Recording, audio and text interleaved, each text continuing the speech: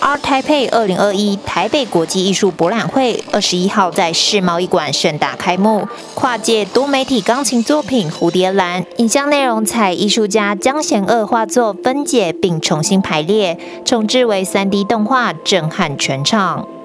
我只能在这里讲一句话，就是感谢再感谢。我谢谢我们的长官，谢谢我们底下很多默默在进行中的一些。我们同业台北国际艺术博览会不仅仅掌握国际的脉动，同时深耕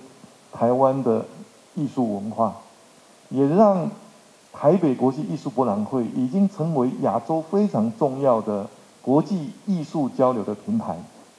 为期五天的盛会受到中央、地方、国际的关注，吸引海外展商纷纷设摊，三十二家国外画廊带来精彩的艺术体验。他的韩文名字叫 Moon Singyeon，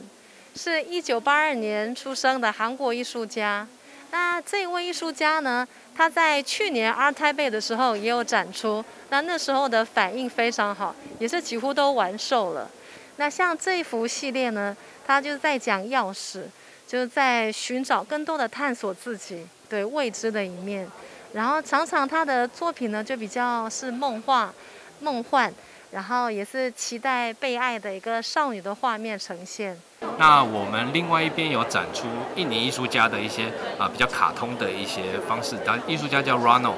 那他的作品其实这次主要是希望可以有一些啊，因为这些卡通人物都是跟他自己的生长环境有一些连接，不论是卡通、电玩或者是电影的部分，所以我们这次要展出超人啊。还有就是《侏罗纪公园》等等的一些艺术作品，那这些作品他会透过他自己的方式去诠释。